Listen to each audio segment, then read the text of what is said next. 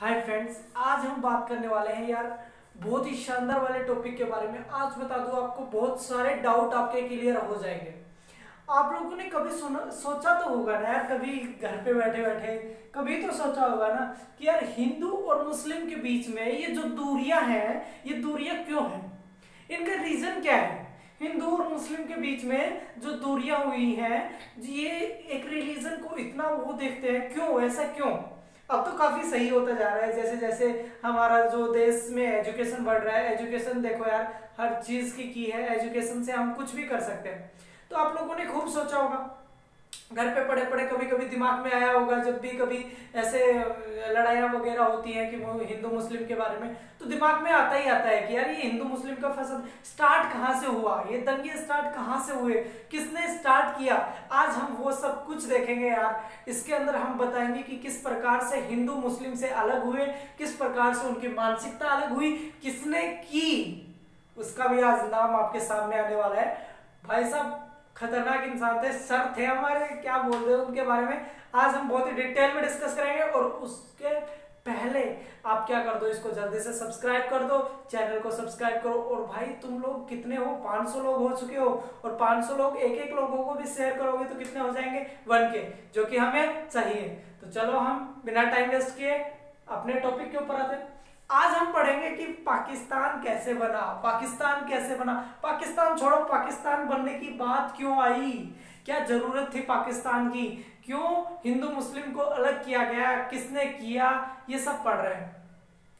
तो सबसे पहली बात बता दूँ कि हिंदू जो मुस्लिम जो बनना था, मुस्लिम कंट्री बननी थी, उससे पहले मुसलमान जो मुस्लिम थे, वो किस प्रकार से अलग हुए, किसकी फॉर्म में अलग हुए, वो हम डिस्कस करेंगे, ठीक है? तो आज हम बात करने वाले हैं सर सैयद अहमद खान। बहुत ही खतरनाक बंदा है। मतलब जितनी बात करो, उतनी कम है इस भाई साहब की तो। आज इसके बारे में आपको मतलब पूरी पीएचडी करवा देंगे इसके ऊपर, ठीक है? फिर उसके बाद हम बात करेंगे मुस्लिम लीग फॉर्मेशन के बारे में। मुस्लिम लीग फॉर्मेशन पढ़ने से पहले हमें किसको समझना पड़ेगा? सर सैयद अहमद खान को। तो आओ, समझ लेते हैं भाई साहब को, क्योंकि इन्हीं का कारण, इन्हीं के कारण से ये बना था। ये बात तो स्पष्ट हो चुकी है क्लियर हो चुकी है तुम्हारे दिमाग में कि भाई साहब का कुछ ना कुछ रोल था इसके अंदर। तो देख लेते हैं क्या रोल था। आपको बता दें, ये सर हमारे थे सर सैयद अहमद खान। सर, आप इनको सर क्यों बोल रहे हो? तो भाई इतना बड़ा काम किया है, सर के लायक तो है ही ये। तो इन्होंने क्या मतलब यार, ये बहुत ज़्यादा पढ़े लिखे थे, बहुत ज़्यादा नॉलेजेबल पर्सन थे, इसलिए मैं इनको सर बोल रहा हूँ। ऐसा कोई नहीं, ठीक है? तो सर सैयद अहमद खान थे तो इनका जन्म छोटे से बच्चे के रूप में हुआ 1817 के अंदर। कब हुआ? 1817 के अंदर। जैसे ही इनका जन्म हुआ तो जन्म इनका एक बहुत ही जो कहते हैं ना समृद्ध फैमिली जिनको बोलते हैं बढ़िया पैसे वाला बढ़िया धनवान धनवान ही नहीं कह सकते। भाई बहुत तगड़ा पद था। इनके घर घर वाले थे ना इनका स्टेटस बहुत ही ऊँचा था सोसाइटी के अंदर। तो काफ़ी धनवान थे काफ़ी पैसे वाले थे। और आपको बता दूँ कि ये जो ए, मुस्लिम मुस्लिम धर्म से बिलोंग करते थे मुस्लिम रिलीजन से बिलोंग करते थे एक बात है ये मुस्लिम रिफॉर्मर थे। इनको फ़िक्र दोनों की थी। हिंदू और मुस्लिम स्टार्टिंग में दोनों की फ़िक्र थी। लेकिन मुस्लिम्स की कुछ ज़्यादा ही फ़िक्र थी भाई साहब को। मतलब उनकी कुछ ज़्यादा ही परवाह करते थे ये लोग। तो भाई साहब 1817 में बेचारे जन्मे, बेचारे क्यों बोल रहा हूँ मैं? वो जन्मे 1817 के अंदर। इनके पिताजी के बारे में बता दिया जाए आपको। इनके पिताजी पर्सनल अकाउंटेंट थे। किसके? वो किसके थे भाई? अकबर सेकंड के। उस टाइम पर मुगल जो एम्पायर था, उसके अंदर कौन राज कर रहा था? अकबर सेकंड। याद रखना भाई 1817 की बात चल रही है। चीज़ें किस प्रकार से कनेक्ट होती हैं, ये देखते हुए चलना आप ठीक है? फिर उसके बाद इनका एजुकेशन तो सीधी सी बात है, पैसे वाले इंसान है तो एजुकेशन कुछ अच्छी जगह पर करवाएँगे। तो इन्होंने काफ़ी एजुकेशन काफ़ी अच्छी एजुकेशन ली, इसने रिलीजियस भी ली प्लस मॉडर्न भी ली। तो religious education plus modern education दोनों इन्होंने ली। उसके बाद मुगल, दूसरी चीज़ की, अब इनके पास दो ऑप्शन थे। जैसे इसने एजुकेशन ले ली, बहुत दिमागदारी बन गया। काफ़ी जो रिलीजियस भी ले लेता है, जो मॉडर्न भी ले लेता है, इस टाइम पे भाई साहब बहुत वैल्यू बढ़ जाती थी उनकी, ठीक है? तो अब जैसे ये रिलीजियस तो ले लिए थे इन्होंने, अब क्या ले ली इन्होंने मॉडर्न भी ले ली। तो मॉडर्न किसकी मॉडर्न किसको कहा जा रहा था? मॉडर्न एजुकेशन किसको कहते थे? अठारह को जो अपना अठारह का वुड डिस्पैच एक्ट पढ़ा था ना अपन ने तो उसी का, उसी की बात चल रही है भाई मॉडर्न एजुकेशन जिसके अंदर साइंटिफिक एजुकेशन थी, वो भी ले ली थी इन्होंने। तो अब इनके पास दो ऑप्शन थे। या तो मुगलों के पास चला जाए, या फिर ब्रिटिश के पास आ जाए।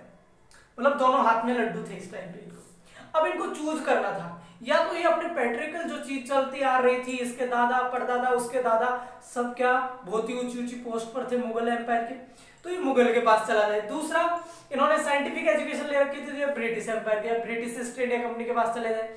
इन्हें डिसाइड करना था कि ये कहाँ जाएँगे, ठीक है? डिसाइड किन्हें करना था? भाई साहब, सर सैयद अहमद खान को। अब भाई साहब, इसको जैसे इसने एजुकेशन बढ़िया ले ली तो अकबर सेकंड बोलते हैं हाँ भाई, हो गया तेरा काम, अब आ जा। ले लिया एजुकेशन आ जा। अब तुम्हें ये पद देते हैं हम, इसको संभाल। इन्होंने जबकि जब मना कर दिया, इनकार कर दिया। इन्होंने सोचा, भाई साहब, मुगलों की तो वैसे ही नाव डूबी पड़ी है। अब डूबी हुई नाव में गोता लगाने से क्या फ़ायदा है? कोई फ़ायदा नहीं है ना? हम कहा चलेंगे? हम ब्रिटिश ईस्ट इंडिया कंपनी के पास चलेंगे। वहाँ अपनी क्या बढ़ेगी? इज़्ज़त बढ़ेगी, अपनी शोहरत मिलेगी, दौलत मिलेगी, सब कुछ कहा है? तो ब्रिटिश ईस्ट इंडिया कंपनी के पास है। तो इसने किसने, इसने किसको ज्वाइन किया? मुगल को इन्होंने क्या कर दिया? कट कर दिया। और ज्वाइन किसको किया? ब्रिटिश ईस्ट इंडिया कंपनी को। अब आपको बता दूँ कि ब्रिटिश ईस्ट इंडिया कंपनी को इसने ज्वाइन किया तो इसने इतना हार्ड मेहनत किया मतलब हार्ड वर्कर मैन था, बहुत ही खतरनाक वाला। इनका प्रमोशन होता गया। एक प्रमोशन दो प्रमोशन तीन प्रमोशन ऐसे प्रमोशन होते गए। और आपको बता दूँ कि ये बिजनौर कोर्ट के अंदर चीफ असिस्टेंट ऑफिसर के चीफ असिस्टेंट ऑफिसर सी के पद पे जाके भाई साहब प्रमोशन के कारण इनका सीएओ बन गए ये कहाँ के? बिजनौर कोर्ट के। अब बिजनौर कोर्ट के ये क्या बन गए? सीईओ सीएओ बन गए थे चीफ असिस्टेंट ऑफिसर बन चुके थे। तो इन्होंने इनका जो पद था ना, इनका जो वैल्यू थी, वो अलग ही लेवल की थी। और आपको बता दो कि लॉयलेस्ट बंदा था भाई, बहुत ज़्यादा लॉयल बंदा था। आँख बंद कर कर विश्वास कर लो, इसकी कसमें खाई जाती थी कि भाई साहब की कसम खा लेते थे कि भाई उसकी कसम मैं झूठ नहीं बोल रहा। इतना लॉयल बंदा था ये, देख ले। तो चीज़ें समझ आ रही होंगी आपको कैसा इंसान था। उसके बाद मैं आपको बता दूँ कि इन्होंने एक क्या खोली? इन्होंने एक यूज़ किया, क्या इन्होंने एक अपना जो नोटिस कहते हैं ना, जो छापते हैं, जो एक उपन्यास वगैरह मान सकते हो आप इसको, वो इन्होंने एक छापा, उसका नाम था असबाब ई, क्या असबाब असबाब ई बगावत, ई, हिंद। तो इन्होंने कहा, अठारह सौ सतावन का विद्रोह हुआ था, उसके जस्ट बाद इन्होंने कहा कि भाई असबाब ई बगावत ई हिंद उसको एक नाम दे दिया और उसके अंदर क्या था, पूरा का पूरा जो अठारह था, जो विद्रोह हुआ था, उसका पूरा पूरा चिट्ठा है। और आप सब लोगों को बता दू कि इतने शानदार वीडियोस भाई पहले पढ़े अपने पूरे प्लेलिस्ट के अंदर रखे हैं तो आप जाके उनको यूज़ करो यार। मैंने मेरे लिए थोड़ी ना बनाए हैं, आप सब लोगों के लिए बनाए ठीक है? तो अब जब इन्होंने असबाब ए बगावत ए हिंद का नारा दिया, उसके बाद इन्हें लगने लगा कि यार ये जो है ना, अठारह सौ पचासी के अंदर क्या हुआ? कांग्रेस का फॉर्मेशन हो गया।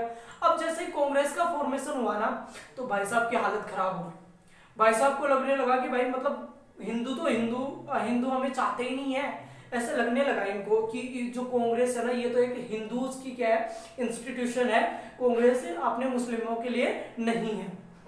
ये किसको लगता था? इन भाई साहब को। तो इन्होंने कहा कि अगर तुम्हें ना ज़िंदगी में कुछ करना है ना तो आप पढ़ाई करो। क्या करो? पढ़ाई करो। बस पढ़ाई करो, करते रहो, दिन रात पढ़ाई करते रहो, पढ़ाई करते करते मर जाओ, लेकिन पढ़ाई करनी है। पढ़ाई सबसे ज़्यादा इंपॉर्टेंट है। अगर तुम्हें ब्रिटिश में कुछ पाना है, ब्रिटिश हमारे हैं, और जो हिंदूज हैं, इन्होंने तो अलग इंस्टीट्यूशन बना लिए। हमारा क्या होगा? तो इन्होंने मुसलमानों को कहा कि भाई, हमें क्या करनी चाहिए? पढ़ाई करनी चाहिए, और हमें लॉयल रहना चाहिए किनका? ब्रिटिश का। तीसरी चीज़ इन्होंने एक स्थापना की किसकी? एम ए ओ ये एम ए क्या थी? एम ए ओ की क्या थी? इसमें थी मोमडन एंग्लो ओरिएंटल। तो मोमडन एंग्लो ओरिएंटल, ये इसका जो कॉलेज है या यूनिवर्सिटी है, इसकी स्थापना की जो कि 1920 में इसको Aligarh university, Aligarh Muslim university के नाम से जानते हैं हम। वही पहले किस नाम से जानी जाती थी? मोमडन एंग्लो ओरिएंटल यूनिवर्सिटी के नाम से जानी जाती थी जो किस इसकी स्थापना किसने की थी तो सर सैयद अहमद खान ने की थी। तो चीज़ें समझ आ रही होंगी शायद। उसके बाद हम बता दें कि आपको जैसे कांग्रेस की स्थापना हो चुकी थी तो कांग्रेस की स्थापना होने के बाद भाई साहब को ऐसे लगना लगा था मतलब एक साइड तो हिंदू है एक साइड मुस्लिम है और बस होने वाला है कुछ ना कुछ हो, होने वाला है। तो यहाँ से मतलब जो हिंदू और मुस्लिम्स के बीच का जो गैप था ना वो यहाँ से आना स्टार्ट हो चुका था कहाँ से? सर सैयद अहमद खान के दिमाग के अंदर आने लगा था। तो ये थे भाई सर सैयद अहमद खान अब आपको इनसे रिलेटेड शायद कोई चीज़ नहीं आ रही होगी। इनकी मानसिकता इनकी आइडियोलॉजी आप समझ चुके होंगे।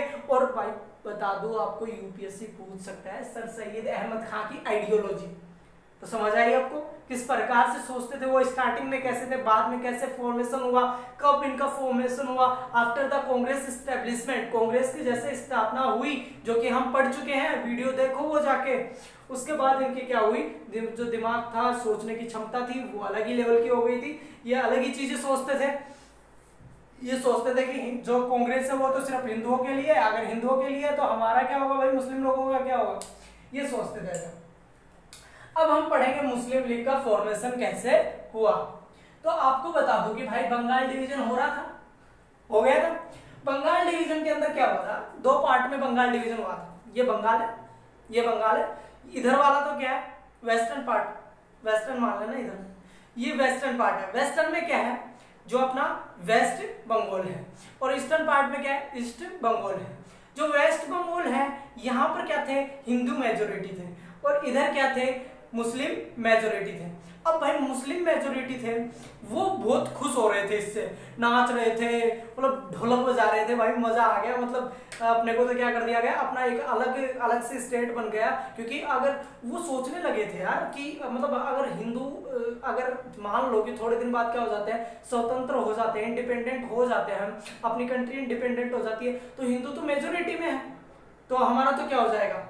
दमन हो जाएगा मतलब हमें तो पागल कर देंगे, हिंदू लोग। ऐसा सोचने लगे थे वो। तो इसलिए वो क्या कह रहे थे कि, भाई, हमें सही है कि हमें अलग कर दिया गया। कम से कम हमारी मेजोरिटी का एरिया तो निकल के आया, किसी स्टेट में तो हम राज करेंगे। ऐसा उन्हें लगने लगा। बल्कि जो हिंदू थे इधर इधर कौन थे? हिंदू। वो बिल्कुल भी खुश नहीं थे, वो बैठ के रोने लगे, भाई साहब, ये क्या हो रहा है? उन्हें पता था, अंग्रेज़ गलत कर रहे हैं। तो वो क्या कर रहे थे? वो बोल रहे थे कि, यार, ये गलत है, ये नहीं होना चाहिए, जो बंगाल डिवीज़न है, वो नहीं होना चाहिए। तो भाई साहब, इधर मुस्लिम क्या सोचने लगे? भाई साहब, हिंदुओं से हमारी क्या नहीं देखी जा रही, हमारी खुशी नहीं देखी जा रही इन लोगों से तो। ऐसा क्या था? ऐसा चल रहा था सबके दिमाग के अंदर कि भाई हमें एक एक स्टेट दे दिया तो क्या हो गया? सारे स्टेट तो तुम लेके बैठे हो, हिंदू लोग। तो हमें इतना सा दे दिया। इसका मतलब तुम तो हमारे अपने नहीं हो। हमारे अपने तो कौन है? हमारी ब्रिटिश है, क्योंकि उन्होंने हमें अलग किया है। तो ब्रिटिश के कब्जे में कब आने लगे? कैप्चर ब्रिटिश की उनकी माइंड सेट ब्रिटिश के जो फेवर में कब आने लगी? 1905 के बंगाल डिवीज़न के बाद। तो ये तो क्या हो गए थे? सैड हो गए थे और ये डांस कर रहे थे। इतना समझ आया? कंसेप्ट क्लियर होना ज़रूरी है। बाकी जाए, जो भी सोच लो। फिर उसके बाद बता दो आपको कि भाई, ये जैसे ही हो रहा था तो फिर इन्होंने कहा कि यार, हिंदुओं के लिए तो स्पेशल अलग से बना रखी है आपने। क्या मुस्लिम जो ये कांग्रेस बना रखी है, मुस्लिम लोगों के लिए भी तो होनी चाहिए ना। तो इन्होंने एक, इनकी क्या होती थी, जो भाई साहब हमारे महान भाई साहब सर सैयद अहमद खान ने स्टार्ट की थी मोम, जो मोमडन एजुकेशनल कॉन्फ्रेंस थी ये होती थी। तो 15 दिसंबर 1906 के अंदर कब? 15 दिसंबर 1906 के अंदर मोमडन एजुकेशनल कॉन्फ्रेंस हुई। अब इस कॉन्फ्रेंस के अंदर जो ढाका के नवाब थे कौन थे? ढाका के नवाब क्योंकि जो अपना ईस्ट वाला पाकिस्तान था उसके जो नवाब थे वो ढाका के, ढाका उसकी राजधानी थी, कैपिटल उसकी ढाका थी, और उसके जो नवाब थे, वो थे ख्वाजा सलीमुल ख्वाजा सलीम उल्ला, जो जैसे नाम भी ऐसे थे भाई, उनका मैं कुछ भी नहीं कर सकता। ख्वाजा सलीमुल्ला जो वहाँ के क्या थे? ख्वाजा सलीमुल्ला यहाँ के क्या थे भाई? ख्वाजा सलीमुल्ला बहादुर, नाम में बहुत दिक्कत हो रही है यार, पता नहीं क्यों। खाजा सलीमुल्ला बहादुर, यहाँ के क्या थे? मुस्लिम्स के यहाँ जो वो था ना, यहाँ के नवाब थे डाका के। अब उन्होंने कहा कि ठीक है भाई, बना लो। तो सब बोले बोले, नाम क्या रखे? नाम नाम यार घर पे जब बच्चा पैदा होता है, कोई भी बच्चा पैदा होता है तो सबसे ज़्यादा मामा, बुआ, चाचा, चाची, ताई, तुई जो भी होते हैं, सब नाम सोचने लग जाते हैं। और फिर नाम जिसका सिलेक्ट होता है ना मतलब अलग ही खुशी होती है कि मेरे नाम, मैंने नाम निकाला इसका। ऐसा कुछ था। तो यहाँ भी नाम, लोग नाम सोच रहे थे, यार क्या निकाले क्या निकाले, ऐसे क्या नाम होना चाहिए। फिर उसके बाद जो ढाका के नवाब थे, ख्वाजा सलीमुल्ला बहादुर, इन्होंने कहा कि ये नाम कैसा है? ऑल इंडिया मुस्लिम लीग कैसा है? भाई साहब मतलब सारे मुस्लिम उछल के कूद पड़े। भाई साहब, डीजे बजाओ, डीजे बजा दो। क्या ऐसा नाम तो हो ही नहीं सकता यार, इतना अच्छा नाम। मतलब हमें जो चाहिए था वही मिल गया। क्या? ऑल इंडिया मुस्लिम लीग तो ऑल इंडिया मुस्लिम लीग सबने कहा सुबह अल्लाह भाई, मज़ा आ गया सारों के सारों ने। बहुत ही अच्छा नाम है। फिर आपको बता दूँ कि जो नाम तो नाम तो आ गया था ऑल इंडिया मुस्लिम लीग फिर उसके बाद इसके अंदर जो मैन जो लीडर थे वो लीडर कौन कौन थे? एक तो यहाँ पर थे सैयद आमिर अली जो कि इसके अंदर जो इसकी स्टैब्लिशमेंट थे उसके अंदर इनका मेन रोल किन किन का था? एक तो थे अपने सैयद आमिर अली दूसरे थे विकार उल मुल्क। कौन थे? विकार उल मुल्क। तो फिर भाई उसके बाद क्या है? उसके बाद प्रेसिडेंट के बारे में बात करेंगे अपन।